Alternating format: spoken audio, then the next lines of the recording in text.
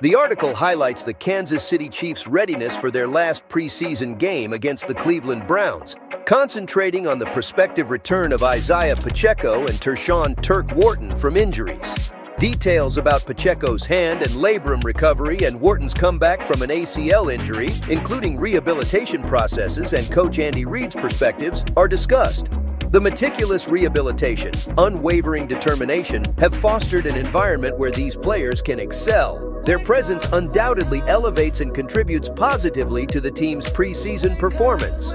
Mark your calendars for August 26th, releasing Tommy Mac's best bet every Saturday, plus MLB, NFL playoffs, the entire NFL season through Super Bowl 58, 2024. Your season pass, available all season long for the one time price of only $19.95. This Believe It offer is complemented by an hilarious ringtone. Read the rules on the website at odds911.com.